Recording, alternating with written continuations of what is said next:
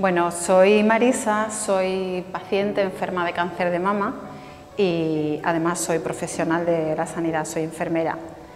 Entonces, mm, para mí que supuso, sobre todo el momento del diagnóstico, cuando me dieron la noticia, fue un shock, me imagino que como para toda mujer que le dan esta noticia, punto de inflexión en tu, en tu momento de vida, sea cual sea, pero mm, te viene a la mente mm, como que la persona invulnerable que eres ese niño que te crees que eres, es como que tomas conciencia de que, de que ya no, de que ya no lo eres y que esto es así. Y si una persona de a pie, un ciudadano, le diagnostican esto, a un profesional de la sanidad incluso le llega a afectar incluso más porque todavía nos sentimos más invulnerables.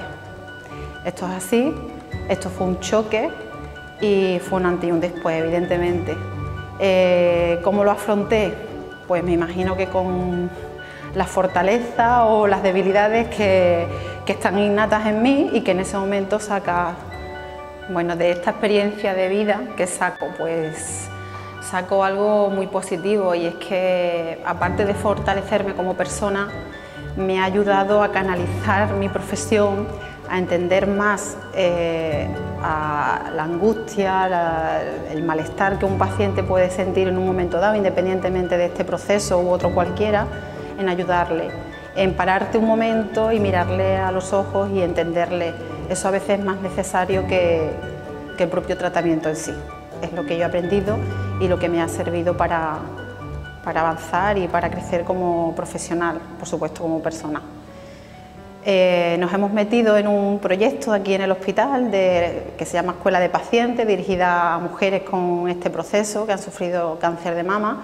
Me está sirviendo muchísimo porque mi experiencia le está valiendo a estas mujeres. Y quizás en su momento a lo mejor yo necesité algo así, que es verdad que no lo tuve, pero busqué otras maneras.